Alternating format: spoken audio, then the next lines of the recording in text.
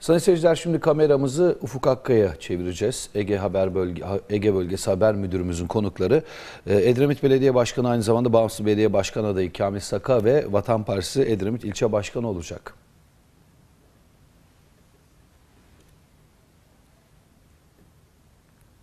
Teşekkür ediyorum. Senin de belirttiğin gibi konuklarımız Edremit Belediye Başkanı ve Bağımsız Belediye Başkan adayı e, Kamil Saka ve e, Edremit Vatan Partisi Edremit İlçe Başkanı İbrahim Bayda olacak. E, günlerdir tartışılıyor hafta sonundan bu yana. E, şunu da vurgulayalım tabii ki Edremit'te ulusal radyo farkıyla da şu anda yayındayız. Sadece ekranları başındaki izleyiciler değil, radyolarının başındaki Edremitler'de e, Ege Körfezi'nden önemli bölgelere yayın yapıyoruz radyoyla da. Onlar da bizi izleyebilecekler ve dinleyebilecekler. E, ne oldu? Hafta sonu tabii ki Edremit'le çalkalandı Türkiye. Bir iş adamı CHP Edremit Belediye Başkan adayı Hasan Arslan'ın yanına geldi ve bu sefer oyumuz Kürdistan'a dedi. Peki CHP'li belediye başkan adayı Hasan Arslan ne dedi? Yani bize vereceksiniz dedi gülümseyerek. Arkasından iş adamı Kürdistan'a işte işte Kürdistan bu değil mi diye söyledi. Şimdi tabii ki önemli bir yer Edremit Kuzey Ege açısından. Bu açıklamaları Kamil Sakay'la değerlendireceğiz. Efendim hoş geldiniz Hoş yayınımıza. bulduk. İyi yayınlar diliyorum. Efendim şimdi siz e, nasıl buldunuz bu açıklamaları? Yani Çok yanlış şeyler. biz skandal diye başlık attık ama Yanlış şeyler. Yani skandal bile hafif kalır bir yerde. Ve bunun yansıması Edremit'te gelecek adına da oldukça önemli oranda olumsuz etkiler ya- yaratacağı benziyor. Mesela küçücük bir örnek vereyim. Bizim kızlarımız, voleybolcu kızlarımız 1. Türkiye Ligi'ne çıkabilme adına Adana'da Final Four maçlarındaydılar. Evvelsi gün yapılan maçta 3. set oynanırken tribünlerden yükselen Edremit Kürdistan'a sözlerinden sonra sahada olaylar çıktı. Kar, bayağı ciddi kavgalar oluştu ve maç ara verdi. Ondan sonra devam etti. Demek ki bu etkileri önümüzdeki günlerde de bu bize bu bunun etkilerini önümüzdeki günlerde de göstereceğini şey yapıyoruz. Valla Edremit hiç hak etmediği bir ünvanla anılmaya başladı. Hakikaten bunlar çok yanlış şeyler politikada olan, siyasette olan ben göz önüne çıkacağım diyen arkadaşlarımızın bu konulara çok dikkat etmeleri gerekiyor. Ama maalesef Cumhuriyet Halk Partisi gibi Cumhuriyet Halk Partisi'nin Edremit'teki üyeleri de demek ki Mustafa Kemal'den uzaklaşmışlar. Bu tür kelimelere sessiz kalabiliyorlar. Tepki vermiyorlar. En önemlisi de bu.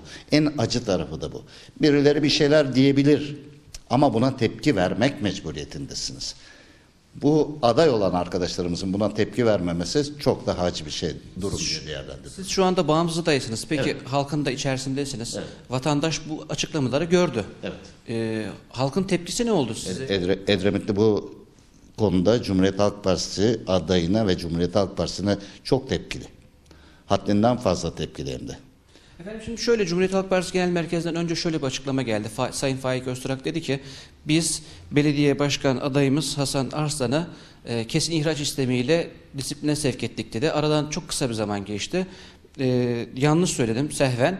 Eski Akçay Belediye Başkanı'nı sevk ettik dedi. Bu ikiliye e, nasıl yorumlarsınız siz?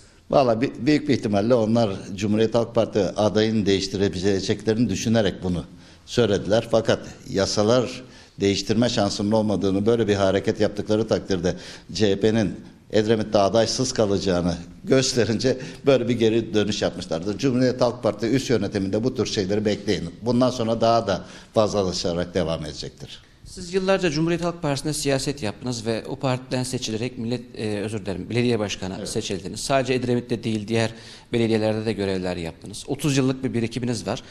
E, Cumhuriyet Halk Partisi'nin HDP ile yani PKK'nın siyasal koluyla olan ittifakını nasıl yorumluyorsunuz efendim? Valla ben şunu açıklıkla söyleyeyim. Ben Cumhuriyet Halk Parti'de olmamın bir tek nedeni vardır. Cumhuriyet Halk Parti'nin Mustafa Kemal Atatürk'ün partisi ve çizgisinde olan bir parti olduğunu. Bu vatanın milli misak-ı milli sınırların bölünmez bütünlüğünün tartışılmadığı bir parti olmalı.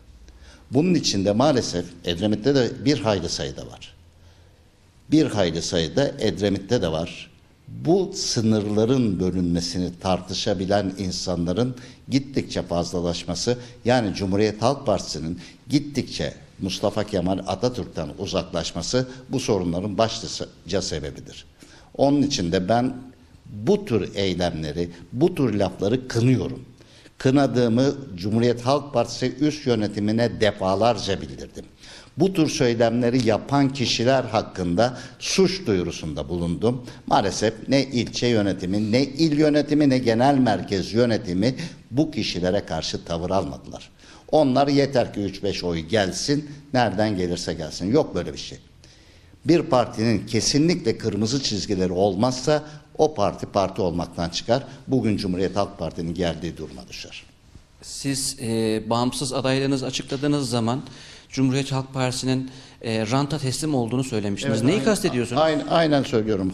Hazırlanan Cumhuriyet Halk Parti listesine bakınız. Tamamıyla rantçıların yer aldığı bir liste. O listeyle inşaatçılar odası seçimlerine girseler alırlar. Ama belediye meclis seçimlerinde alma şansları yok. Şimdi Büyükşehir yasasıyla beraber Akçay, Altınoluk, Güre, Zeytinli gibi kıyı şeritler, Kadıköy'ü de eklersek o kıyı değil ama 47 mahalleniz var şu anda. Ee, göz kamaştırıyor Kuzey Ege açısından. Ee, siz nasıl önlemler mi alıyorsunuz efendim buna? Çoğu, çoğu kişinin iştahını kabar- kabartıyor. Tabii ki önlemler alıyoruz. Tabii ki yani yasal sınırlar dışında inşaat yapılmasına izin vermiyoruz. Ama bazıları, bazı müteahhit arkadaşlarımız geçmişten gelen alışkanlıkları var. Hele hele Altınoluk'ta bu alışkanlık gittikçe fazla. Altınoluk'un son 5 yılında o kadar yanlış inşaatlar yapılmış ki bu inşaat yapılan mühürlemeler bazılarını çok tedirgin etti. Bizim yaptığımız çalışma işin doğrusuydu. Çünkü biz buraya bu belediyeden bir şeyler alabilme adına değil, kendi bilgi birikimimizi bu bölgeye aktarabilme adına talip olmuştuk. Bundan dolayı da bu imar dışı, yasa dışı uygulama yapan müteahhitler bizim korkulu bir rüya olarak görmeye başladılar. Bunun için bir sürü şeyler oldu. Ama ne olursa olsun biz yasa sınırları içinde kaldığımız için bunların boy hedefi haline geldik. Bu boy hedef haline gelmemiz de partide benim aday gösterilmememin belki de en önemli etkeni oldu. Ama ne olursa olsun Edremit hakikaten dünyanın en güzel yerlerinden bir nokta. Hele hele Kaz Dağları. Kaz Dağları'nın bu güney yamacı hakikaten gelecek kuşaklara aktarabilme adına en önemli koruma bölgesi olmalı. Bunu koruyabilme adına biz tekrar aday olduk. Çünkü hakikaten baktığımızda Edremit'te iki ittifakın oluşturduğu iki tane ayrı rant grubu oluştu. Ya biri ya biri. Edremit halkı buna mahkum edilmemeliydi. Mahkum edilmesin diye de biz ortaya çıktık. Ee, Sayın Kamil Saka siz e, bağımsız aday olarak ortaya çıktınız ama Vatan Partisi'de de bir ittifakınız var. Nasıl gelişti efendim bu ittifak anlatır mısınız ve Edremitliler nasıl karşıladı bunu? Edremitler gayet olgun karşıladı. Çünkü Vatan Partisi de ben de Edremit halkı da Mustafa Kemal'in çizgisinde. Hepimiz Edremitler Mustafa Kemalcidir ağırlıklı olarak. Bu çizgide olan insanlar da bu ittifakı gayet olumlu karşıladılar ve Edremitler Edremit'in adayını belediye başkanı seçecekler. Ankara'dan 3-5 tane siyasi baronun atadıkları adayları değil, Edremitliler kendi adaylarını belediye başkanı olarak seçeceklerdir. Efendim tekrar en başa dönecek olursak şimdi Cumhuriyet Halk Partisi cenahından e, sıklıkla e, Kürdistan işte Türkiye'nin bir bölümünü mesela bazı HDP milletvekilleri Kürdistan diye adlandırıyor. E, geçtiğimiz günlerde yine bir Cumhuriyet Halk Partisi milletvekili Bartın milletvekili bir açıklama yaptı ve biz PKK'ların da oyuna talibiz dedi. Siz bu bağlamda baktığınız zaman Cumhuriyet Halk Partisi'nin gidişatını, rotasını nasıl değerlendiriyorsunuz? Şimdi bakın ben onu şöyle diyeyim. ya, Mesela bizim Cumhur İttifakı'nın adayı da ben PKK'ların oylarına da talibim diyor. HDP'lilerin oylarına da talibim diyor. Bu şekilde söylemler yanlış söylemler. Biz yasal sınırlar içerisinde olan her türlü çaba ve çalışmaya okey kabulüz. Ama olmazsa olmaz dediğimiz bazı şeyler var. Bunlar nedir? O misak-ı milli sınırların bölünmez bütünlüğüdür. Laik demokratik cumhuriyetin ilelebet devamıdır. Bu topraklar üzerinde dalgalanan ay yıldızlı bayrağın sonsuza kadar dalgalanmasıdır. Bu tür kırmızı çizgileri olmalı siyasetçinin. Bu çizgileri koyamadığınız takdirde bugün CHP'nin geldiği duruma düşersiniz. Bir saat önce bunu disipline verdim. Bir saat sonra ben yanlış söylemişim. Onu değil bunu disipline. Yok böyle bir lüksü. Yok bu kadar yani bu kadar basit hata yapma şansı yok politikacıların. Hele hele bizim Sayın Vekil'in belediye başkan adayının, eski belediye başkanlarının söylediği gibi ilçe başkanı da dahil bu işin içinde. İşte benim oyun Kürdistan'a gibi sözleri söylemeye hakkı yok. Burada bir tek ülke var. O da Türkiye Cumhuriyeti. O ülkeyi bize bırakan Mustafa Kemal ve arkadaşlarına hepimiz yatıp kalkıp şükran duygularımızı iletmeliyiz. Onun için Vatan Partisi ile olan bütün anlaşma, çünkü daha önceden de birçok eylemde ben Vatan Partisi'ne oldukça önemli oranda destek olan bir kişiyim. Neden? Güveniyorum, inanıyorum. Neden? Orada yapılacak bütün söylemler Mustafa Kemal Atatürk'e karşı olamaz. Bunu biliyoruz.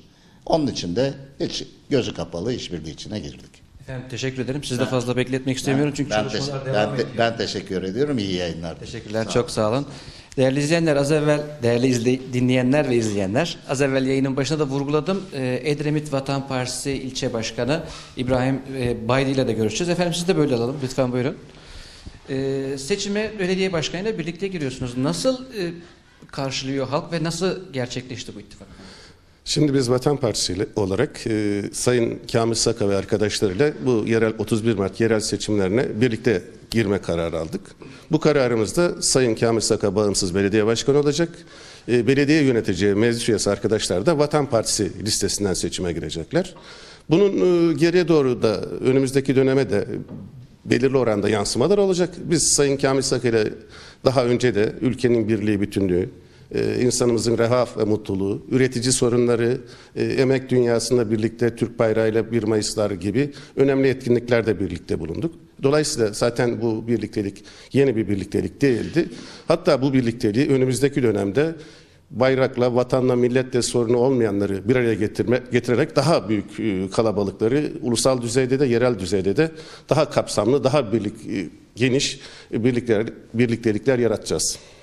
Çok teşekkür ederim Sayın Baydı. Çok sağ olun. Ben teşekkür ederim. Ee, Umut Tezerer, e, Türkiye'nin, Ege bölgesinin hatta Marmara'nın da işte ciğerlerinin olduğu noktadayız. Edremit'teyiz. Kaz Dağları'nın zeytinin marka olduğu, zeytinin marka olduğu, zeytinyağının marka olduğu kentteyiz ve gözler tabii ki e, betonlara çevrilmiş vaziyette. İşte Marmara'nın durumunu görüyoruz. Bunun Ege'de de benzer bir uygulaması, bir e, provası yapılmak isteniyor. Bu yerel seçim aynı zamanda bu açıdan da çok önemli.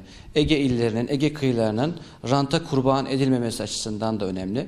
Biz e, yayınlarımızı sürdüreceğiz. Bugün tabii ki Edremit'te Edremit Belediye Başkanı Sayın Kamil Sakay'la Cumhuriyet Halk Partisi Belediye Başkan adayı Hasan Arslan'ın e, Kürdistan açıklamaları ile konuşmuştuk. Malum biliyorsunuz bir iş adamı gelip oyumuzu Kürdistan'a vereceğiz demişti. Ee, Cumhuriyet Halk Partisi adayı ise işte bize veriyorsunuz dedi. O görüntüleri zaten yayınlıyoruz gülümseyerek. İşte bu konuyu değerlendirdik. Edremit'te yaratacağı tahribatı ve Türkiye'ye yaratacağı tahribatı canlı yayınımızda değerlendirdik. Söz yeniden sizde efendim. Teşekkür ediyoruz Ufuk Akkaya ve konuklarına. Evet az önce Ufuk Akkaya haber müdürümüz, Ege Haber Müdürümüz de dile getirdi, hatırlattı.